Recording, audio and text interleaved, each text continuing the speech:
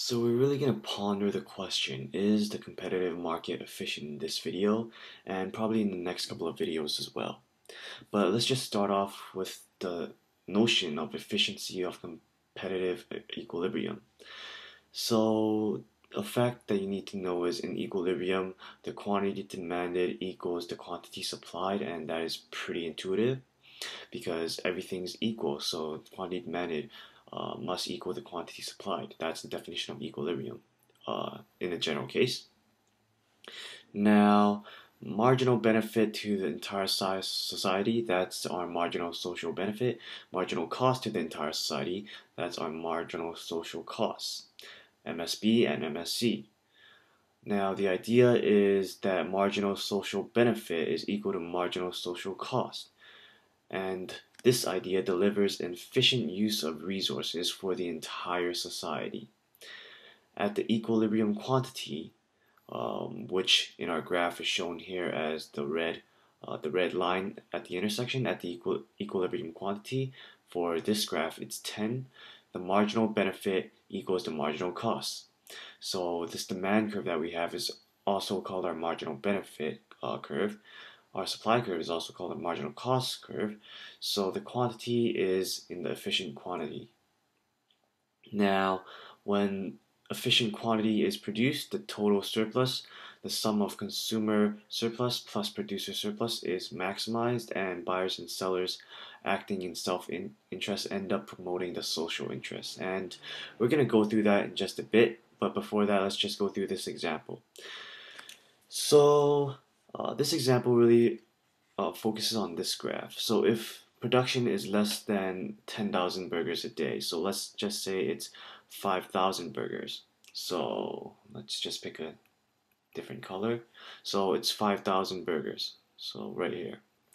So let's just say that uh, production is 5,000 burgers. That means the marginal burger, one more burger is valued more highly than its cost to produce that is uh, pretty apparent in this graph.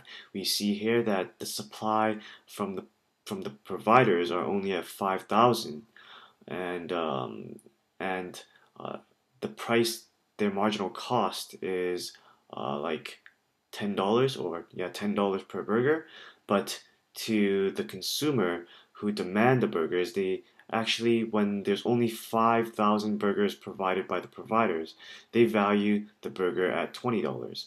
So things are not really equal here. It's not an equilibrium because providers are providing the burgers, uh, five five uh, burgers uh, for ten dollars, and uh, the consumers really value those five burgers at twenty dollars.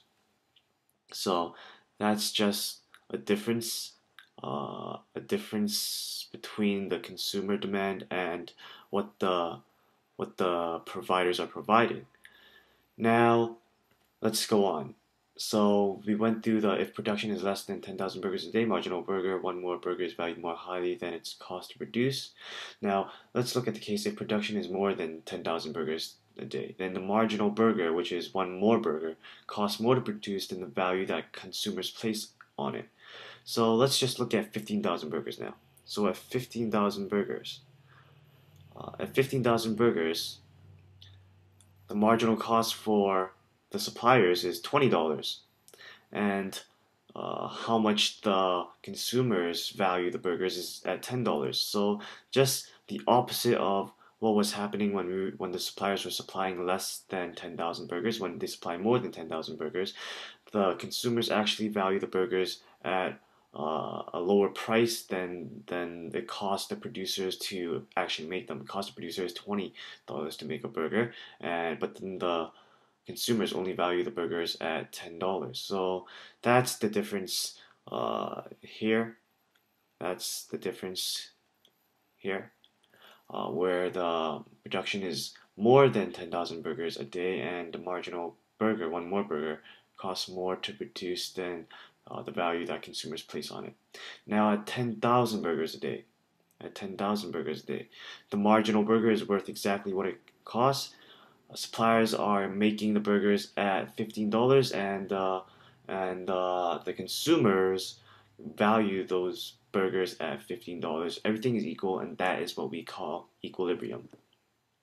Now, I feel like this video has gone on long enough, so I'm just gonna go through a short, uh, short video in the next video, or yeah, uh, just gonna go through a short example in the next video. But uh, other than that, please rate, comment, subscribe, and I'll see you guys in the next video. Thanks for watching.